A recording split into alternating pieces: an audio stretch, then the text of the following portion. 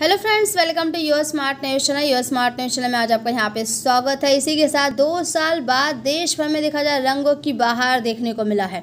इसी के साथ मुंबई, महाराष्ट्र में हादसे भी नज़र आए हैं। इन तमाम अपडेट को हम पूरा विस्तार से देखने वाले हैं कि मुंबई, ठाणे, नवी मुंबई में देखा जाए, बड़ी संख्या से घरों से बाहर निकल के खेली गई है होली। तो सबसे पहले हम हादसे की बात करते हैं कि बांद्रा में शुक्रवार सुबह एक तेज रफ्तार टैक्सी ने सड़क पर होली खेल रहे आठ साल बच्चे को टक्कर मार दी, जिससे उसकी मौत हो गई।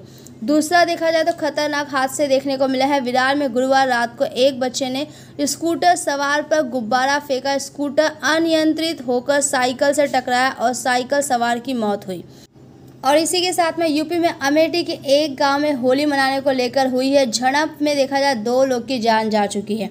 अगर हम बात करें कि अहमदाबाद में एक मंदिर में हज़ारों लोगों ने एक साथ होली खेली है तो देखा जाए इस होली फेस्टिवल में लगातार मुंबई, महाराष्ट्र से लेकर सभी लोगों ने बहुत ही अच्छे तरीके से होली खेली, मगर कुछ हादसे भी नज़र आए हैं। साथ में 2020 में कोरोना महामारी के आहट से होली हल्की रही थी। 2021 में देखा जाए, दूसरी लहर ने इस त्यौहार का रंग फीका कर दिया था। तीसरी लहर के खत्म होने के बाद इस साल देश भर में देखा जाए, होली के रंगों की बहार छा गई थी।